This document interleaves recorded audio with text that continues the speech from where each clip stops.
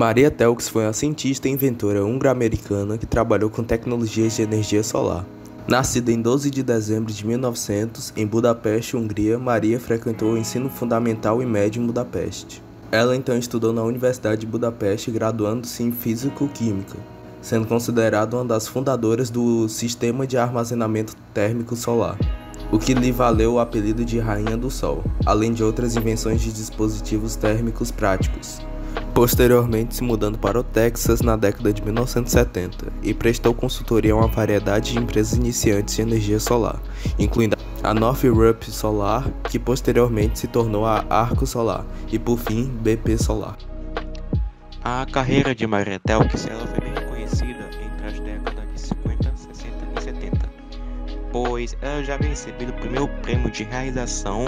da Sociedade de Mulheres Engenheiras. No ano seguinte, ela se mudou para a Faculdade de Engenharia da Universidade de Nova York, criando assim um, laboratório totalmente dedicado às pesquisas de energia solar. E entre as décadas de 60 e 70, ela já havia assumido a, di a diretoria do Laboratório de Energia Solar, criando também materiais à prova de espaço sideral e mar, e ainda assim sendo uma pesquisadora do Instituto de Conservação de Energia da Universidade de Delaware. E mesmo ter feito todos esses feitos, ela só teve os seus feitos realmente reconhecidos em 1977, onde ela foi homenageada pelo prêmio Charles Quell About, concedida pela,